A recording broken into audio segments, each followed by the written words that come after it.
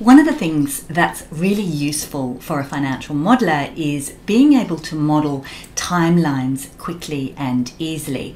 Most financial models have some kind of time element, and usually they're looking out into the future. And being able to do this uh, quickly is going to save you a huge amount of time, particularly if you are competing in the Financial Modelling World Cup, where time is of the essence, or if you are sitting one of the financial modelling qualification exams from the FMI, the Financial Modelling Institute, this is also something that's, that's going to be really useful. So let's have a look at how to model this. So starting out, uh, we are going to, to do a counter. So this is going to be a dynamic range. So you can see here that we just used a data validation dropdown to be able to toggle between annual, quarter or monthly. And we're also able to use the years. You can see by the way that I formatted this that these are inputs and these can automatically change and everything is going to flow on from that. So to start out, we're just going to add a counter and uh, this is one of my favorite functions. It's actually a dynamic array function, which means it's going to automatically expand and contract to as much as it needs. Uh, it's only been around for a couple of years, but I do not know how I lived without it. This is one of my favorite functions at the moment. So uh, we are going, it's going to ask us for the number of rows. I'm not going to uh, count down rows. I just want columns. So I'm going to put a comma there to say I don't want rows. I just want column, columns. And columns, I'm just going to pick up a five and I'm going to multiply it by the one. I'll show you what that one does in a minute. And the start, it's going to automatically start from one, which is fine. And the step, I'm going to put that as a zero because I just want to have one, one, one across. I don't want it to incrementally increase. So if I just press like that, that's just going to, just going to give me the ones. Now, what this one here does is that if I were to change that drop down to quarterly, it would give me a four. So you can see here that if I were to change this to quarter, that would change to a four and it's going to expand out to as many as I need. So if I were to say I just want one year, it's going to show me four there. And if I were to change that to uh, monthly, for example, you can see that it's just going to give me the 12 months. And I have actually set this model up here to go all the way over to as many columns as I think I might need so that that way I can just very quickly control and arrow to go backwards and forwards. So that's my starting point is knowing how many periods I've got in the model. And the first thing I'm going to do is to pick up the end date. Now, often in models, we're doing schedules or, or corkscrew calculations. So you want to, you, you very often with your period, you have your starting point and your ending point. So you want to know the date uh, of the start and the date of the end of the period of whatever that is. So because this is a monthly model, uh, my end date is going to be the end of January. So I want to pick up the date for the end of January. And again, this is just a little if statement here that's saying uh, if it is annual, uh, it's going to uh, be a, uh, a 12, for example.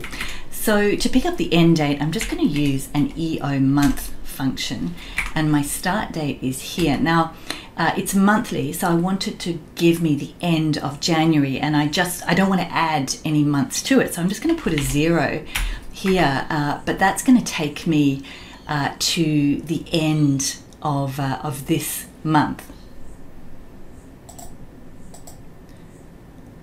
But what I'm going to do here is to actually use this cell here uh, and just say minus one to give it a zero. So there we go. And by doing that, it means that if I were to change that to quarterly, it's going to pick up the end of the quarter, for example.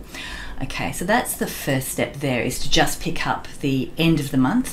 Uh, and then what I want to do now is pick up the start or the first of the next period. Now I could go with an E date, which is another really useful function to know. So we say the start date and it gives us one calendar month from that start date or as many months as you put in. Now I could do that, but because I've already got the end of month there, it's going to be easier to just say plus one uh, to give me one date, which will always give me the first of the month.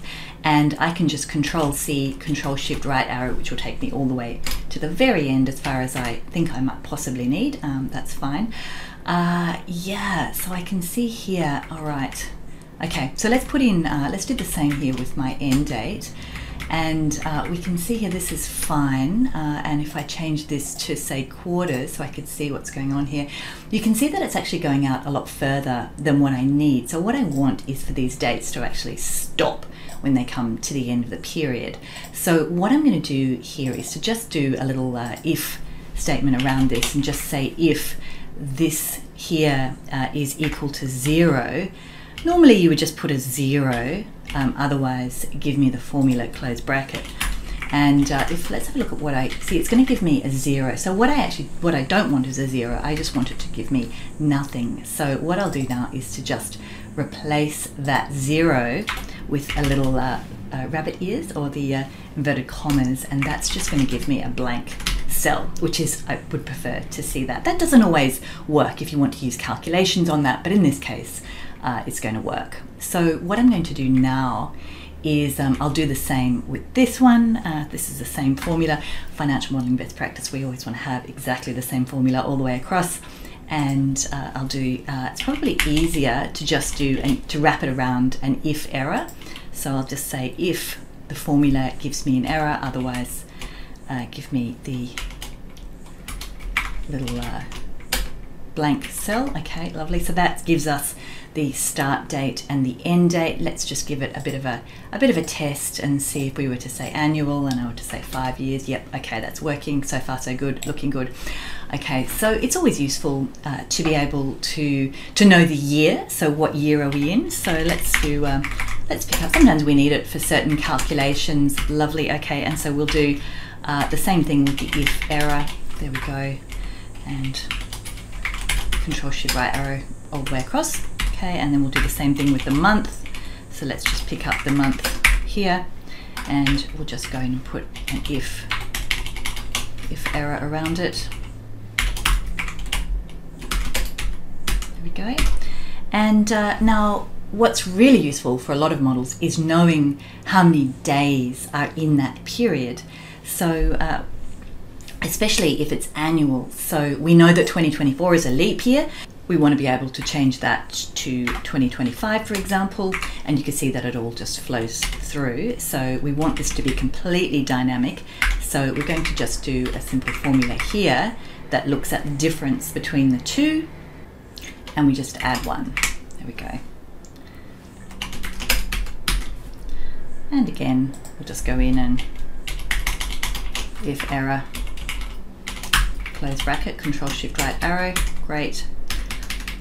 Okay, so let's just give it a bit of a test, make sure it's working all right. Again, quarterly, okay, five years, two years, yep, looking good, okay. And what's quite useful is to see the number of periods that are copying across. So if I were to just do a sum, so if I start from here, because we are referencing a dynamic array, just put a hash there, that's just gonna automatically sum up as many columns as we need.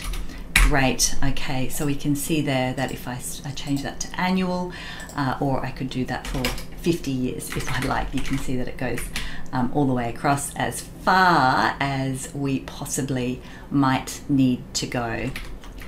There we go. So this is something uh, that you could perhaps keep as a template, um, keep it in your back pocket, uh, something that is going to make your modelling much, much faster and uh, really quick to, uh, to complete.